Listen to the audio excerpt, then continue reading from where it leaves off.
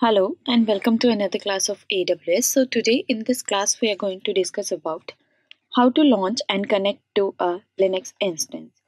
So in today's class or in this exercise we will launch a new instance or Linux instance and then we will log to security updates. So these are the various services. So now we are in a third chapter in which we are dealing with EC2 which is Elastic Compute Cloud. So here in this we have number of running instances. We can see our region.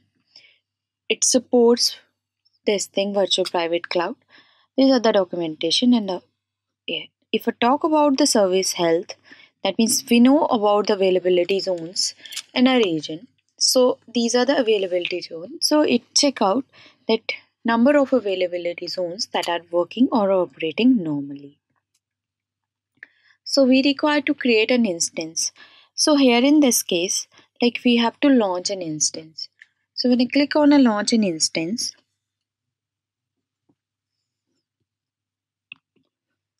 so this is uh, instance. Now we have to choose the very first thing. These are the steps First thing we have to choose AMI, then we have to choose instance type. After that, we require to configure instances, add storage, add tags, and then we require to configure the security groups. And after that, we have review. So first of all, we require to choose an AMI which is Amazon Machine Image. So AMI is basically a template which contains software configuration that means what is the operating system, application server and various applications which are required for launching an instance. So we can select an AMI AMI which is provided by AWS. So we have Amazon Linux AMI 2016 0.09.1 SSD volume type. Let's select this uh, after that we have various types of instances available now these are the number of the instances available as per their network performance support for IPv6 in instance storage which is in GB so we can check as per our requirement. Like we have free tier eligible general purpose. Let's review this. Or we can configure instance instances also. Now what are the number of instances we require? Number of instances purchasing option. What is the network?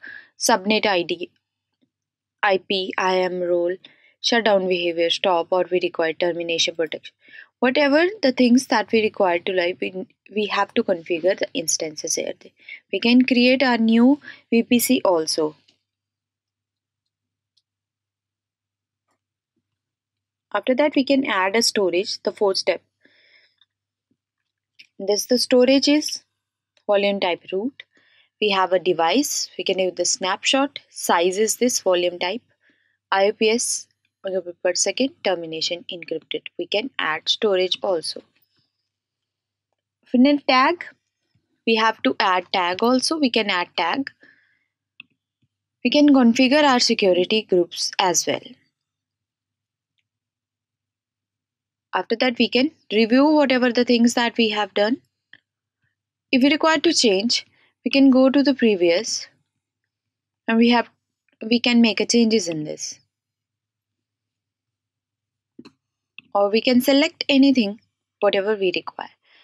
This is the interface of the instances in EC2. We will continue with this in our next class.